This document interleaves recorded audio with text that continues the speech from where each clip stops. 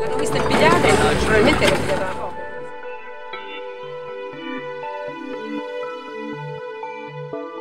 Dai, entriamo in acqua, dai!